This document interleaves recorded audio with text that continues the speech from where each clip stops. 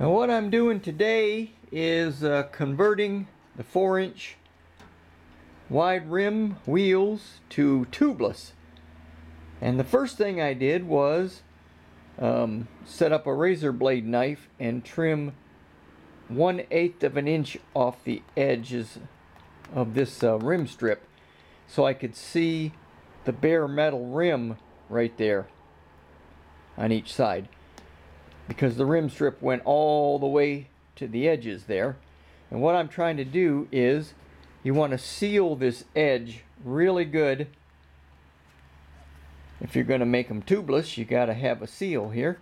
You don't want all your uh, sealant to run around the edge of this rim strip.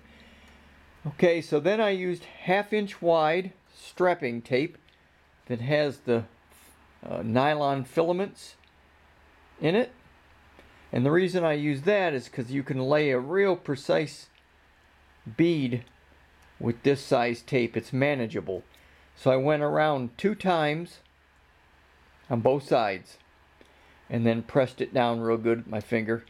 Uh, no air bubbles. So next after the half inch wide tape goes down then I've got this two inch wide strapping tape and it will offer support in the middle here. But what I'll do is uh, go over to the very edge and cover up the half inch and then come over to this edge. And then I'll probably do one down the middle after that. So there'll be one two wraps of this then a third wrap right down the middle. And this strapping I've used it for years um, in a three quarter inch wide um, for these bikes over here which are all tubeless. Three quarters of an inch works great for uh, thin rims like that. But um, this rim strip of course is kind of wimpy. It's pretty thick but it's bulged in from having an inner tube in it. So this will just give it some more support. So one layer to this edge one layer to this edge and then one more down the middle and then we should be able to put the tire on and put some Stan's, no tube sealant in it, pump it up. I've got two Stan's valves on the bench over there. And uh, we'll continue on after I get the two inch wide tape on. Okay, didn't want to bore you with putting on the two inch wide tape, but I've put um, one uh, layer on this side and one layer on this side and it overlapped. Get the tape here since it's two inch wide. One went there one went there and then a final one down the middle. And it's really solid feeling now. Um, and it's not like this tire being a fat tire is going to have 35 pounds of pressure it's going to be run you know uh, 7 to 10 pounds but still, you need some support because there's nothing here except a rim strip and a big round hole. So put the, put the two layers of tape, one on each side, one down the middle. Press it down as best you can. The problem with the big wide tape is that it doesn't go on real nice and even because you've got ridges. The rim comes up, goes down, goes up and down, so it's real hard to get it real nice and flat. That's why I started with the, the half inch tape around the edges. Uh, you can get that real precise and a good seal before you put the two inch on there. And I've gone ahead and put my Stan's valve in. Let's get around here. And I added a small O-ring at the bottom.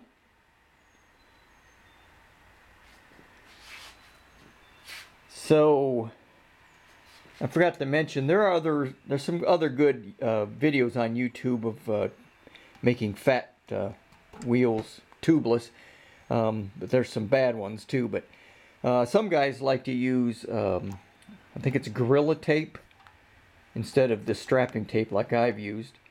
Um, so whatever you use, just make sure you get it nice and flat and you get a good seal around the edges because when the tire gets pressured up that sealant will try to sneak around this edge right there and get under and it may come out the holes here if you've got holes in your rim.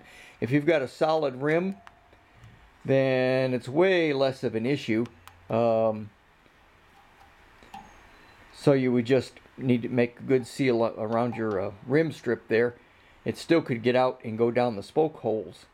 So anyways, this wheel is ready to have the tire put on and I'm going to pop the bead first with a hundred pounds of pressure. And that's why I don't put the center valve core in because uh, my compressor set at about 100 pounds. I can pop it on there and it should pop the tire out and I'll just check to make sure the bead um, seats well doing that before I pour the Stan's in. Um, so that's gonna be next. I'll get back to you in a minute here. Whew, I'm back. What an adventure this was. I put the tire back on the rim after doing all the taping and putting in the Stan's valve. And then uh, a trick I saw on a video on YouTube was to put a 26 inch inner tube around the tire to compress it and force the beads outward. Well, that didn't work on this tire. This is a big monster wire bead tire. It might work on more supple tires. I don't know. I could not get that thing to... Uh... Oh, compressor's kicking on. Let me turn that off while we do this. Alright, enough of that shit. Alright, so then I got another idea. I went, oh geez, I got these uh, cargo straps that I use. Strap stuff down in the in my van. And they got a a buckle. And I cranked that down as hard as I could get it, and I still couldn't get the bead to go out where I wanted it. So then I started um, putting wood blocks under here to tighten up this strap and push the uh, center of the tire in and the bead outward. And that finally worked. so right now, I haven't got a valve core in it. I've just got the uh, um, hose with the compressor hooked up and I've got it like 20 pounds and what I'm doing is just kind of observing it and seeing if it will um, stay put. I'll take it back up off the ground uh, and, and, just pour the uh, Stan's in. I'll pull the bead out in one spot, pour the Stan's in there, and give this another go. If I can get the Stan's in there and the bead to seat and run it up to about 20-25 pounds so the Stan's will ooze everywhere inside the tire, I think I'll be good to go. I hope. I've never done a fat tire like this before. Geez, all my 29ers, you hit it with a quick blast of 100 pounds of pressure after putting the Stan's in there uh, to get the bead, and the bead will just pop and stay put. Not these ugly bitches here. Boy, they fought me every inch of the way. I'm glad I didn't try to film that. You guys would have uh, had time to take a nap and it's oozing out air around these fittings and stuff and around the nipple. I can't really feel any coming out around the rim here. So I just keep putting a little bit more in every few minutes. It looks good right now. Um, the reason I'm doing all this, I forgot to mention, is here's the two inner tubes that came out. 2.3 pounds of rotating weight gone. Monstrous. 2.3 pounds for both of them. And I forgot to mention, uh, before I started doing the taping, uh, I cleaned the rims and all the surfaces real good with denatured alcohol with a clean paper towel uh, to make sure the, uh, the tapes stuck really good. Whew. But anywho, I'm going to continue on. I'll show you the final result, if there is a final result. Okay, I am back. What an adventure this has been. Woo! Okay, so uh, you saw me do this before. You saw me uh, get the bead sealed on the thing. And what I did was pull the uh, um, air compressor off the valve, let the tire deflate, and then hit it again to see if I if it would seat again. And it did. Uh, I had to just tap the tire in one place where air was coming out and then it, it seated again. So I'm going, all right, this is going to work pretty good. So I decided not to break the bead to put the Stan's in. I injected it right into the valve core. And what I did was I'm going, this is a big tire and I'm not taking any chances. So I measured in a pint glass, 16 ounces pint glass, into uh, this yogurt container and put a, a line right there. And I injected 16 ounces into this tire. This is a 32 ounce bottle. So it's half of this bottle. So I've got half left for the rear here still. And then I put the Stan's in. And of course I hit it with the air again. And it would not seat. It's like, oh, Jesus. I fought it for a while. I tightened up the blue strap. Actually took the wood blocks out. Pulled the strap off to the side and tightened it up. And then put it back over the tire and that worked better than the, the wood blocks because it put an even pressure all the way around the tire. I just couldn't pull it tight enough when it was on the tire, so I pulled it uh, one side off the edge, strapped it down a little bit tighter, then forced it onto the middle bead of the tire there, and that seemed to work pretty good. Those cargo, cargo straps, I recommend those.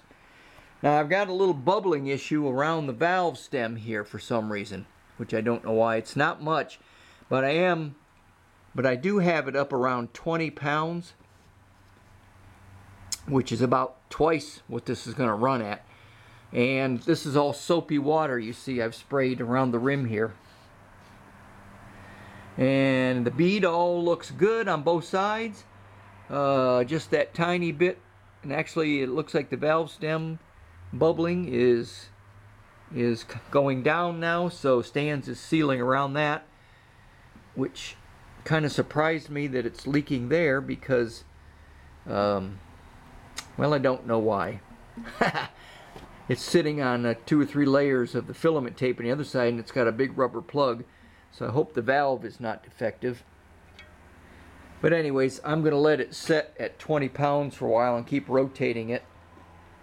And I had it off the bike. I took it over and rinsed it off in a hose because there was Stan's all over the sides of it and everything when I couldn't get it to seat. 16 ounces was seeping out a little bit in places here and there.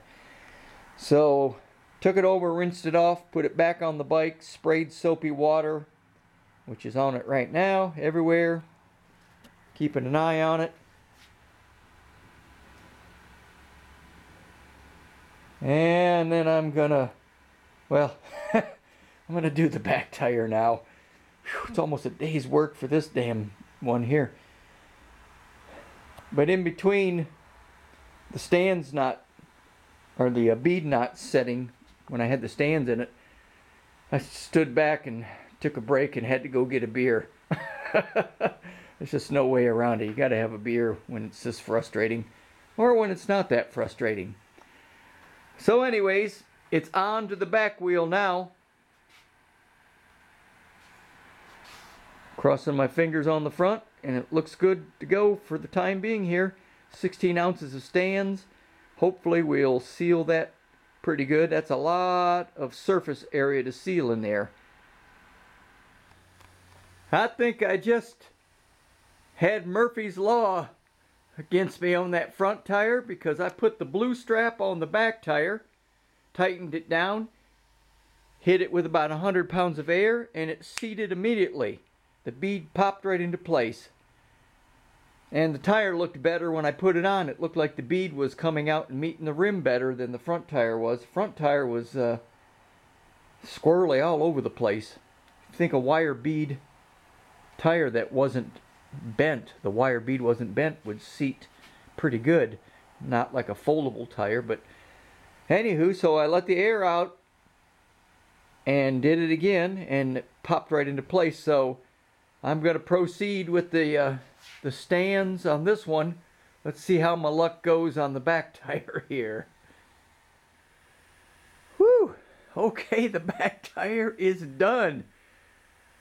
I tell you, the back tire took five minutes because the bead just popped right on with a with a blast of about 100 pounds of air pressure. And the front one took me 45 minutes because the dang bead wouldn't set. But right now it's steady and I keep checking the pressure. The back one, I just sprayed the soapy water on it and it's bubbling.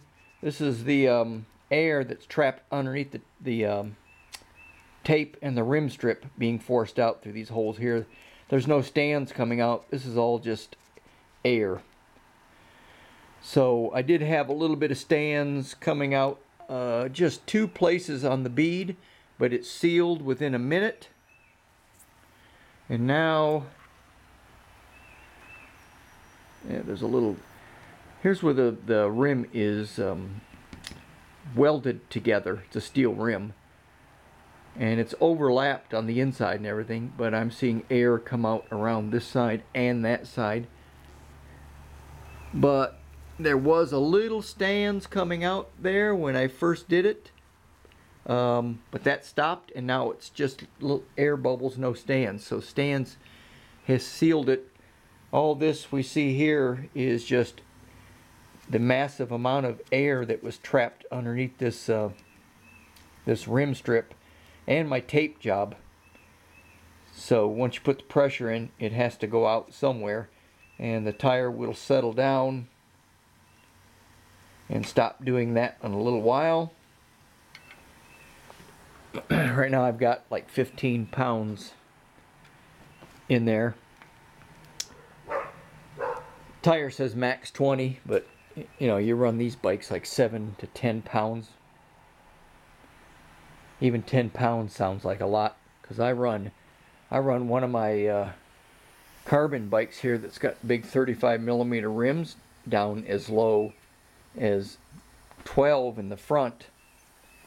And these are two three fives with a 35 millimeter rim so I imagine seven five to seven even. We'll have to see that's my first fat bike, so uh, I'm waiting on my Luna BBS HD e-bike kit. It's going to take a couple weeks, so all this prep is because of that. And this crank goes. I've explained this in a couple uh, previous videos. By the way, this is video number four. Make sure you check the description in the video it'll be a playlist for all the build for this e-bike. Um, not going to go over everything here, but uh, just a couple new things since the last video, video 3. Uh, I got this stem in. Unbelievable on Amazon. 10 bucks. And I had these carbon bars. I'm waiting on the um, disc brake set. And I was able to put my Yeti WTB saddle on here and my race face seat post but I'm waiting on a shim because this is 27.2 and this is 28.6 so I've got a homemade shim of tin and tape in there just just right now but and the rack is just on there just because I had it. I'm going hey I wonder if that fits. Don't know if that'll stay on there or not but anyway oh and I got a freewheel coming that's got a bigger cog than the one that came on this so um, the build will continue and I'll shoot more videos. Make sure you check the playlist and hit like or subscribe. We'll have more later. Thank you.